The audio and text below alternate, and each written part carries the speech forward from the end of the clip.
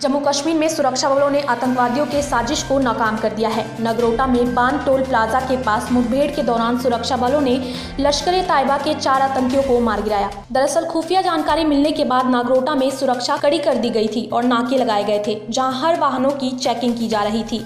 इसी दौरान आतंकवादियों ने सुरक्षा बलों पर सुबह पाँच बजे फायरिंग करना शुरू कर दिया, जिसमें उनके चार आतंकी साथी मारे गए। राजधानी दिल्ली में कोरोना ने फिर रफ्तार पकड़ ली है। इसी बीच इसकी तेज गति जाँच परिणाम के लिए अपोलो ग्रुप ऑफ़ हॉस्पिटल्स के साथ मिलकर टाटा ग्रुप आज स्वदेशी कोरोना टेस्ट किट फेलुदा को लॉन्च करने जा रहा है। इस टेस्ट किट से केवल 40 मिनट के भीतर रिज़ल्ट मिल जाएँगे। Drugs control general of India ने Feluda paper state test kit को देश भर में प्रयोग के लिए अनुमति दे दी है। दिल्ली में कोरोना के बढ़ते रफ्तार को देखते हुए इस किट का पहला बैच यहाँ सबसे पहले उपलब्ध किया जाएगा।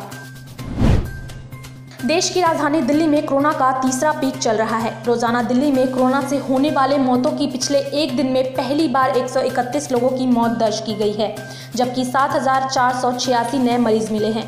हालात को देखते हुए सीएम केजरीवाल ने इस मुद्दे पर चर्चा के लिए सर्वदलीय बैठक बुलाई थी। फ़िलहाल बैठक शुरू हो गई है।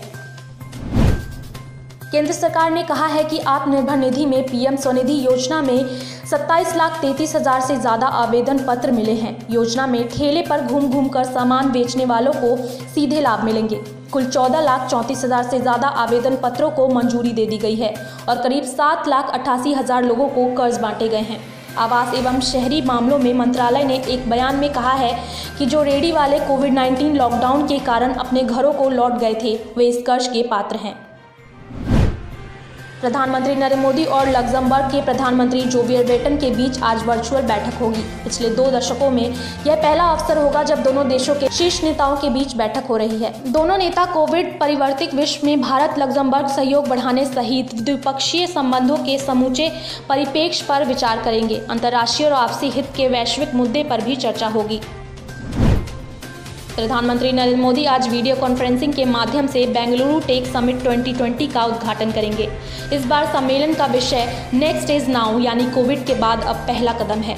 इन तीन दिनों के शिखर सम्मेलन में महामारी के बाद विश्व में उभरती प्रमुख चुनौतियों पर चर्चा होगी। इस दौरान सूचना प्रौद्योगिकी और इलेक्ट्रॉनिक्स तथा बायोटेक्नोलॉजी के क्षेत्रों में विशिष्ट प्रौद्योगिकी और नवप्रवर्तन के प्रभाव पर विशेष रूप से विचार किया जाएगा।